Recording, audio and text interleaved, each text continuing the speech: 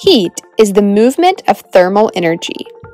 All matter, solids, liquids, and gases, are made up of molecules.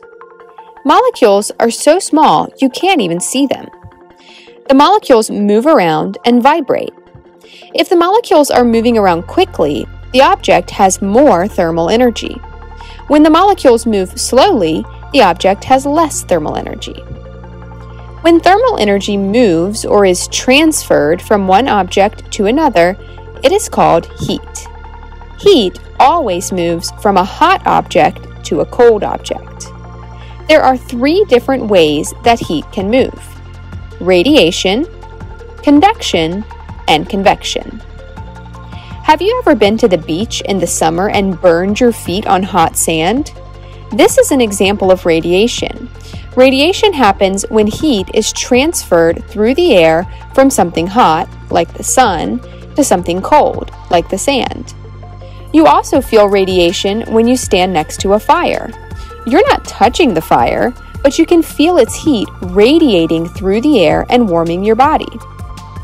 Conduction happens when a hot object is touching a cold object. The heat moves from the hot object to the cold object.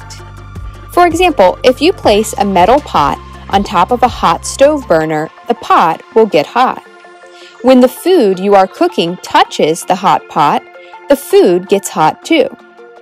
If you place a metal spoon into a mug of hot cocoa for a few minutes and then touch the spoon, it will be hot. That is because the heat from the cocoa has transferred or moved into the spoon. Heat in liquids and gases also moves through convection. If you put a pot of water on the stove, the water at the bottom of the pot will get hot first. When that water gets hot, its molecules spread out. This makes the water less dense. It rises to the top of the pot, and the cold water sinks to the bottom. This creates a current, called a convection current. The water in the pot moves around in a circle as it is heated. Convection currents are what heat the air in our homes. Have you ever watched the lava rise and fall in a lava lamp? If so, then you have seen a convection current in action. This video was created by LaFountaine of Knowledge. For lesson materials that go along with the video, be sure to check the link in the video description. And subscribe to my channel for more videos like this.